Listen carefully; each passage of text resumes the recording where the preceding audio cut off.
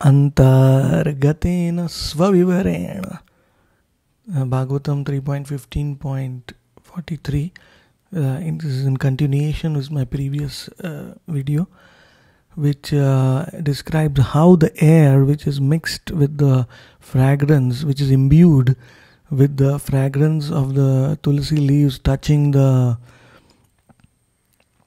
lotus uh, uh, feet the toes of the lord uh, it has entered into the nostrils of the Sanat Kumaras, the four who went to Vaikuntha. So, uh, and uh, Kinjal Kamishra Tulasi Makarand Vayuhu Antargatena Svavivarena Chakara Tesham Chakara Tesham. It entered Chakar. Sangshobham. Sangshobham means uh, normally the Sanat Kumaras were playing the Leela of the pastime of being impersonalists. They were not uh, not believers in the form, the transcendental form of the Lord. And this impersonalism is very deep in within all of us. Uh, very, very deep because we have never seen the Lord uh, face to face, you know. We have never touched the Lord. We have never. Uh, so uh, we cannot touch the Lord unless this impersonalism goes away from our heart. So, what is the solution? The solution is to smell the air, the, the touch of the air. Vatas lagi. Tahareo Krishna Chandrana chadi ve sarvathai. Uh, Nitai is air, and the, and the solution is Nitai is air because Nitai uh, uh, nirvishesh shunyavadi he purifies us. He removes these uh, tendencies in our heart uh, the impersonal tendencies uh, in our heart. The air the fragrance of nitai's uh, toenails his lotus feet and his body comes through nitai vayulekhan when we do vayulekhan we are nitai is manifesting in the first stroke and then the, his touch is there in the second stroke. The third stroke he himself is there. His his merciful glance is there and then the uh,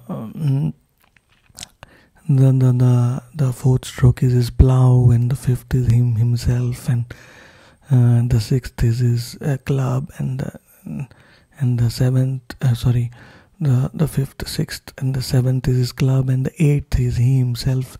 His lotus face is both his hands ajanulambita uh, bhujao kanaka so uh, and the ninth is he, again he himself, Tribhanga Mohana Nitai, which is described in Chaitanya Mangal, how he used to play his flute in three bend form. And the tenth is his flute. So when we when we actually do Vayulekhan, and Vayu means the air, we are actually writing his uh, uh, name in the air.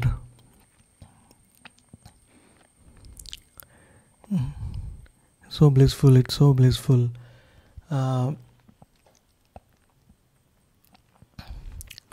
then at that time uh, mm, the air goes into our nostrils because that's right? Uh, in the air. And the air that is touched by uh, his lotus feet kinjalka mishra tulasi that the fragrance of tulsi comes in vayulekhan the tulsi mixed with nitai's lotus feet uh, just like the Sanat Kumaras, and and and they felt Sankshobham. Sankshobham means it. It's a very very. I can give hours and hours of uh, katha on the word Sankshobham. Sankshobham. Let me try to summarize. I have only a few minutes left. Sankshobham means uh, revolution, uh, agitation. It means that it is like our years and millions and zillions of lifetimes of impersonalism and uh, thinking ourselves as the enjoyer and not the Lord as the enjoyer. Uh, that that that that, uh, that that that very deep conception goes removed in the Sanat Kumaras, and it will be removed by Vayulekhan with the air coming to us, and uh, and then we will be actually become pure devotees of uh, Nitai and then of Gaur Radha Krishna. So this is very very important verse. Vayu